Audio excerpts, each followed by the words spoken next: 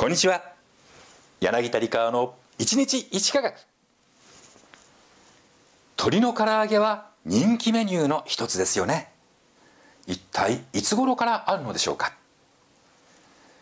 日本唐揚げ協会によれば唐揚げという料理方法は江戸時代の初めに中国から伝わってきたそうです。その頃の唐揚げは鶏肉ではなくて魚介類や野菜に小麦粉をまぶして揚げたものでした。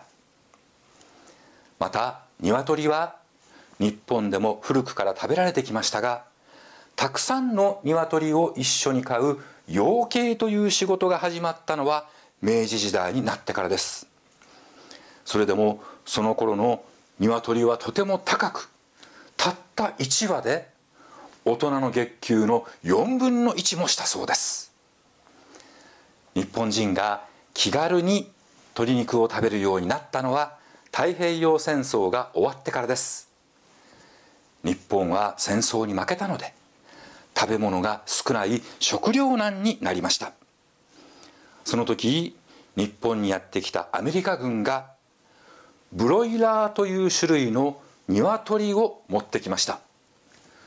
ブロイラーは育つのがとても早いです。